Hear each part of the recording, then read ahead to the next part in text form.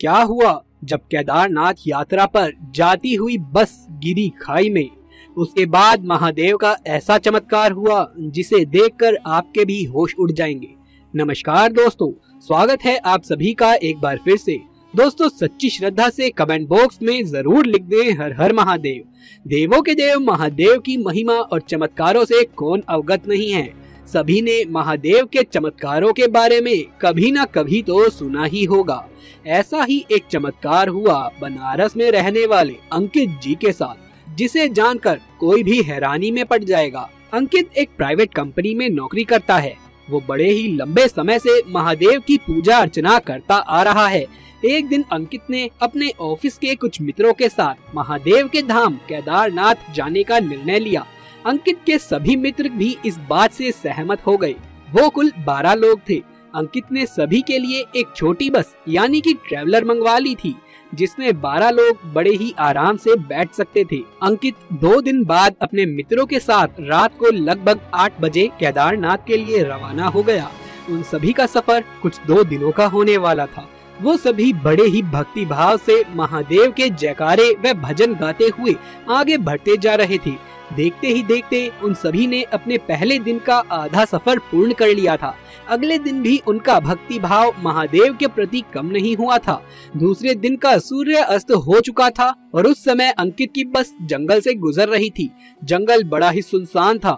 दूर दूर तक एक भी व्यक्ति नज़र नहीं आ रहा था। अंकित को बस के ड्राइवर ने बताया कि यहाँ कुछ लुटेरे रहते हैं जो गाड़ियों को रोक कर लूटपाट करते हैं। सभी ये सुनकर काफ़ी भयभीत हो गए। सभी ने बस के सारे खिड़की दरवाजे संभाले ताकि कोई अंदर ना घुस पाए। तभी अचानक बस का टायर फटने की आवाज़ आती है।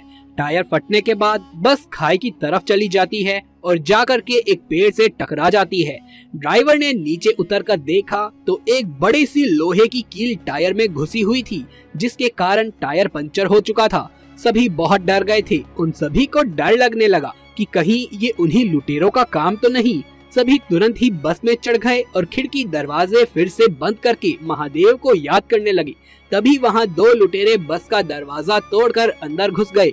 ड्राइवर ने उन्हें रोकने का प्रयास किया तो उन्होंने ड्राइवर को धक्का मारकर बस के नीचे फेंक दिया और सभी के पैसे और सभी के पास से कीमती सामान लूटने लगे। सबसे पीछे बैठा हुआ अंकित महादेव को याद करता हुआ मदद की गुहार लगाता रहा। कुछ ही देर में लुटेरे सभी से कीमती सामान लूटकर भागने लगे। तभी वहाँ पर एक अनजान व्यक्ति आया और उन लुटेरों को रोककर सामान लौटाने को कहने लगा। लुटेरों ने उसे हथियार दिखाकर उसका उपहास उड़ाते हुए मार्ग से हटने को कहा, परंतु व्यक्ति निडर होकर वहीं खड़ा रहा। उस व्यक्ति ने उसमें से एक लुटेरे को सीने से स्पर्श किया, परंतु फिर जो हुआ, वो देख बस में मौजूद सभी लोग हैरान रह गए। लुटेरा व्यक्ति स्पर्श मात्र से ही ज़मीन पर गिर गया, उसके हाथ पैर अकड़ गए। ये देख दूसरा लुटेरा बहुत डर गया और सारा सामान छोड़कर वहाँ से भाग खड़ा हुआ। फिर ड्राइवर ने उस अनजान व्यक्ति से कहा कि बस तो खाई की तरफ़ चली गई है और टायर भी फट चुका है। इस पर उस अनजान व्यक्ति ने उत्तर दिया कि आप यही इंतज़ार करें, मैं किसी को सहायता के लिए लेकर आता हूँ। किसी को समझ नहीं आया कि सुनसान जंगल के बीच ये व्यक्ति किसी को कैसे बुला कर लाएगा। फिर भी सभी बस के अंदर बैठ गए और उस व्यक्ति का इंतज़ार करने लगे और किसी को पता नहीं चला कि कैसे सभी की आँख लग गई। कुछ तीस मिनट के बाद अंकित की आँख खुली।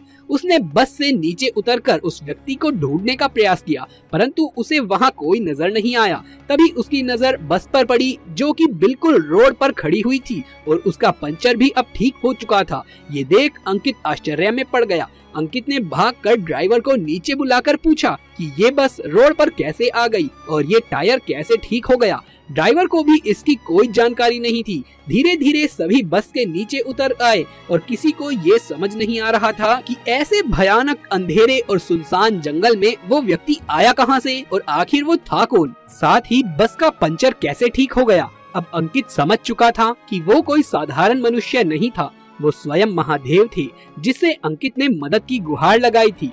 सभी ने हर हर महादेव का जय जयकारा लगाया और केदारनाथ की ओर निकल पड़े। तो दोस्तों, इस घटना के बारे में आपकी क्या राय है? नीचे कमेंट बॉक्स में लिख करके ज़रूर से बताइएगा। यदि आप भी महादेव शिव के सच्चे भक्त हैं तो कमेंट बॉक्स में हर हर महादेव लिखे बगैर मत जाइएगा। दोस्तों, कहा जाता है कि इच्छाधारी नाग नागिन के पास कई अलौकिक शक्तियाँ होती हैं, जिनका प्रयोग कर वो किसी भी समय किसी का भी रूप धारण कर सकते हैं। इतना ही नहीं, इच्छाधारी नाग नागिन अपनी शक्तियों की मदद से हम सब के बीच सामान्य इंसान की तरह रह सकते हैं। इच्छाधारी नाग नागिन के पास एक ऐसा रत्न होता है, जो किसी हीरे से भी बहुत कीमती होता है, जिसे हम नागमणि के नाम से जानते हैं। जिस नाग नागिन के पास नागमणि होती है, उन्हें बहुत ही शक्तिशाली माना जाता है, और वो ज़िंदगी भर उसकी रक्षा भी करते हैं। दोस्तों, आज हम आपको यूपी के गोरखपुर में नाग नागिन के बदले की एक ऐसी कहानी सुनाने जा रहे हैं, जिसे सुनकर आप भी हैरान रह जाओगे। दोस्तों, यदि आप भी भगवान शिव के सच्चे भक्त हैं तो कमेंट बॉक्स में हर हर महादेव ज़रूर से लिख देना। दोस्तों, एक बार यूपी के गोरखपुर इलाके में एक नाग नागिन का जोड़ा सोमवार के दिन महादेव के मंदिर की तरफ़ जा रहा था। नाग सड़क पार कर रहा था तो वहीं पर नागिन सड़क किनारे बैठ गई। मानो जैसे कि वो थक गई हो तभी दोस्तों एक तेज रफ्तार से ट्रक आया और उस नाग को कुचल कर चला गया। नागिन, ये पूरी घटना अपनी आँखों से देखती रह गई। जैसे ही नाग मरा, नागिन तेज़ी से भागती हुई नाग के शरीर के पास आकर बैठ गई और अपना फन सड़क पर पटकने लगी। ऐसा लग रहा था जैसे वो अपने नाग की मौत पर रो रही हो। दरअसल दोस्तों, गर्मी का मौसम था। उस दिन भीषण गर्मी पड़ रही थी। ऐसे में तपती धूप के कारण नागिन सड़क पर फन पटकते पटकते बेहोश हो गई। ऐसे में वहाँ मौजूद लोगों ने उसके ऊपर पानी डाला तो वो फिर से होश में आ गई। लेकिन वो अपने नाग को देखकर गुस्से में आग बबूला हो गई और ज़ोर ज़ोर से फुकारे मारने लगी। उस नागिन का ऐसा प्रकोप देखकर लग रहा था कि वो नागिन अपने नाग की मृत्यु की वजह से सदमे में आ गई है। और वो किसी को भी ज़िंदा नहीं छोड़ेगी।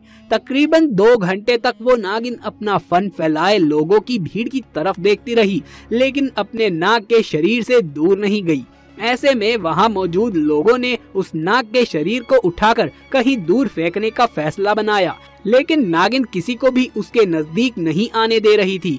दोस्तों, इसके बाद नागिन फिर से अपने नाग के शरीर से लिपट गई। नाग की मृत्यु की वजह से सड़क पर काफ़ी जाम हो गया और लोगों का जमावड़ा शाम तक काफ़ी बढ़ चुका था। रात के समय उस नागिन ने भी रोते हुए अपने प्राण अपने नाग के शरीर से लिपटकर त्याग दिए।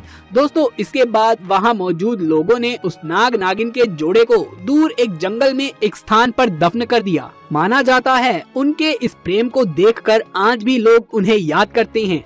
हालाँकि नाग नागिन की ये घटना काफ़ी भावुक है, जिसको लोग आज भी नहीं भुला पाए हैं। दोस्तों, इस कहानी से हमें ये सीख मिलती है कि हमें अपने वाहन को ध्यान से चलाना चाहिए, ताकि हमारी वजह से किसी बेजुबान और निर्दोष जीव को कोई नुकसान न पहुँचे। दोस्तों, आपकी इस घटना के बारे में क्या राय है, नीचे कमेंट बॉक्स में लिख करके ज़रूर से बताइए। यदि ये वीडियो पसंद आया हो तो इसे एक लाइक करके अपने दोस्तों और रिश्तेदारों में इसे ज़्यादा से ज़्यादा शेयर करें। महादेव शिव के सच्चे भक्त कमेंट बॉक्स में हर हर महादेव अवश्य से लिख दीजिए। आगे भी ऐसे वीडियोस देखते रहने के लिए हमारे हमारे चैनल को सब्सक्राइब करके पास वाले बेल आइकन को भी दबा लीजिए। जल्द मुलाकात होगी आपसे किसी अगली वीडियो में। तब तक के लिए आप सभी का धन्यवाद।